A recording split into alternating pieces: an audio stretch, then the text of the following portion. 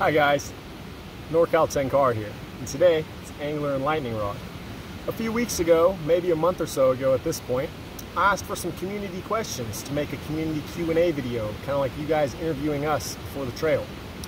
Well, I waited for some more extra ones to fall in, and without further ado, here we go. Sup, Nick? My question for you is Do you and Maddie have any personal goals aside from the ultimate completion of the PCT, whether it be along the way or maybe off the trail? Thanks, dude. Great question, Arran. My biggest goal along the way is, as you already know, to get myself a golden trout. Um, obviously, we want to make it to Canada, but um, outside the trail, I, I want to get that golden trout real bad. And you? I think just having a good time. Any, any peaks that you're after? Uh, Mount Whitney. Mount Whitney? yeah, we are both. We're going to try for Mount Whitney. Yeah, we're so. going for Mount Whitney, so.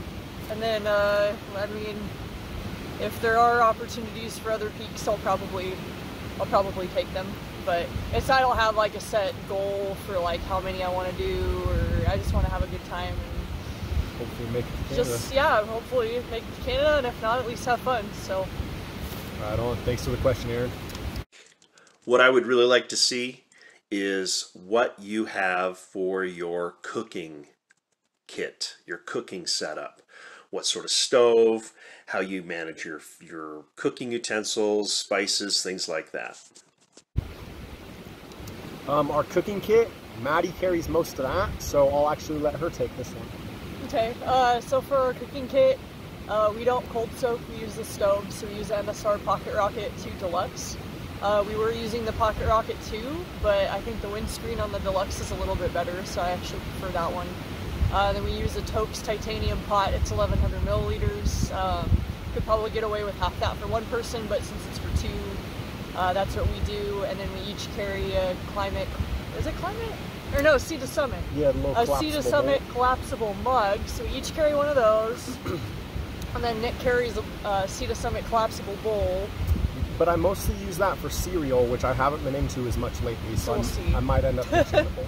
We'll see. Uh, and then we each have a, a Toaks, or no, not Toaks, that's also Sea to Summit. Sea to Summit long handle sport.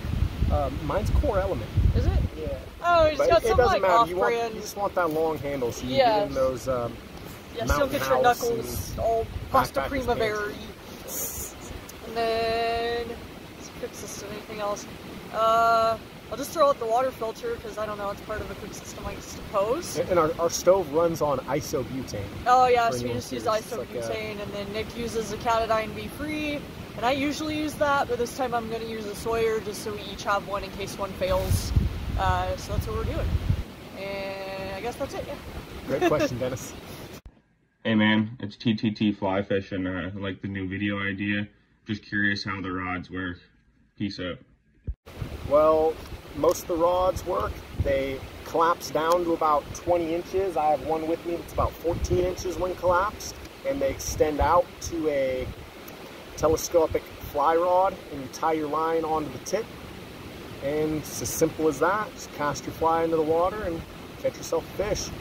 Check out my page at NorCal Tenkara or look up Tenkara Rod Co.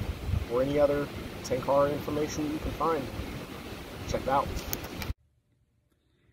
Okay, so this is a pretty monumental undertaking. Uh, what are your biggest fears and greatest hopes for the trail? Uh, my biggest fears are sketchy water crossings and no fall zones, like ultra exposed knife's edge kind of ridge lines. I mean, just it's not my favorite. I, I, I've done a few, and you get by, you get through them, and it's not my favorite, but it does usually lead to some pretty great places. And my biggest hopes are just the ultimate completion of the trail and hopefully catching a few awesome, beautiful fish along the way in some really scenic places. How about you? Annie? Uh, my biggest fear is having to get off trail, I think, for I don't know. I think the only reason I would quit is for like a medical emergency, so that's probably my biggest fear. And what's the biggest hope? Greatest hopes. Greatest hope? Uh, that we finish, but that's not necessary for me to have a good time. But yeah, that that would be the ultimate goal. I think biggest hope to finish. Yep. All right, thanks, Brandon. Hey Nick, just wondering if you have a trail name yet. Um, I did get a trail name on the Tahoe Rim Trail. I had Sorchi started calling me Angler. He bestowed that title on me at the 100 mile mark. And just every time we ran into him, it seemed like every single time I was fishing. And so he just started calling me Angler. This one's for Maddie. How are you going to handle Nick fishing on the PCT? Well, I'll just leave and let him catch up later if I get bored. Fair enough. I'll be like, okay, I'm bored. I'll be at camp. Bye. I, I walk a little faster than her anyway, so I'll well, catch I her. have the stove, so if he wants to eat, he'll come find me. I have the tent, so unless she wants to cowboy camp, she'll wait for me. What is your most common meal item? And what items will be the first ones for you to leave in the box? Um, we did a pretty good job with uh, diversifying our food. I think probably risotto is going to be my, my most eaten item, but I think along the whole trail, I'm probably only going to have it eight times. So it's not like I'll be eating it that much.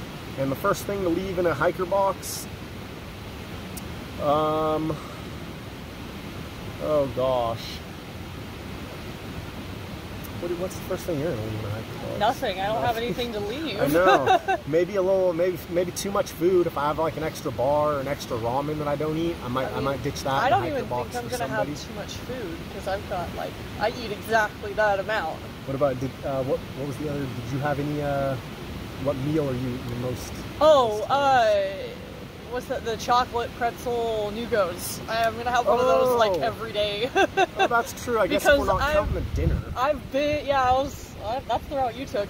But I've been eating one of those every day uh, for like the past two years straight. So I figure, what's another six months?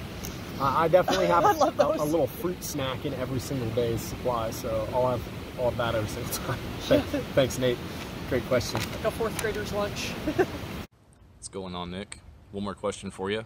Um, how do you plan to get on the water as much as possible while dealing with the hardships of the trail? Uh, do you plan on just splitting up your fishing on zero days or in passing, just you know, crossing a creek or both? Uh, what's your game plan? And I think the latter kind of hits the nail on the head. Just mostly when we cross a creek and we stop at a water supply for lunch, um, when we're not dry camping and we're camping in a, a creek or a lake, that's when that's when I'll be doing most of my fishing. Hopefully, we'll be able to have some really, really nice campsites that are next to some accessible water, and that's I'll get a couple hours by sunset, maybe an hour in sunset here and there. But And we're trying to plan our mileage based off that also. So like, for example, like the Yosemite backcountry, we know there's good fishing opportunities, so we're gonna spend more time there. I'm sure Desolation also and yeah, and the like. So we're trying to spend a little extra time in the Sierra. So. yeah, just maybe blast through the parts that aren't as fishy and spend more time at the places that are. Yeah, we're, definitely not going to make it like, uh, say, say if I just happen to not, if I'm not catching a golden trout, we're not gonna, we're not gonna stay an extra four days in the Sierra hoping for a golden trout. Like, if, if we get one, awesome. If we don't, you know, it's just another reason to come back. So, thanks, Arran.